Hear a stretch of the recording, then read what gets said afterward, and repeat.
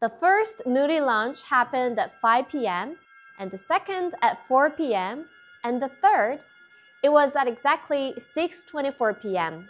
But this time, Nuri's fourth launch is set for 1 a.m. So, what's going on? Why a middle of the night liftoff?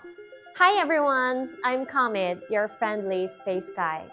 And today, we are going on another journey to uncover what's behind this unexpected launch schedule.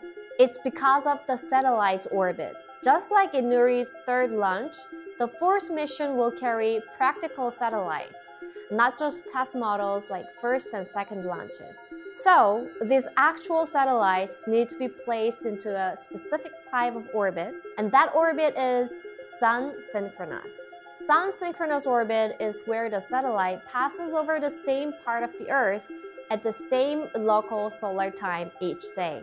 For example, Nuri's third launch was also set for Sun synchronous orbit, especially dawn-dusk orbit. This orbit follows the boundary between day and night on Earth, where the sun is just rising or just setting.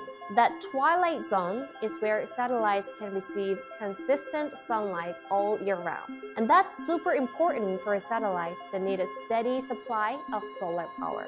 In order to enter this orbit at just the right time and place, Nuri needed to launch when its flight path lined up perfectly with that day-night line. And in November, a sun synchronous window happens to open at 1 a.m. This time, it's not the dawn-dusk orbit like before, but a different kind of sun synchronous orbit. To reach this specific path, the rocket needs to lift off from Korea precisely at 1 a.m. Every second counts when it comes to orbital mechanics. This kind of precise targeting is only possible because Korea is using its own rocket with full control over launch time and trajectory. And starting with this launch, Hanwha Aerospace is not only leading the vehicle development, but also joining the launch operations themselves.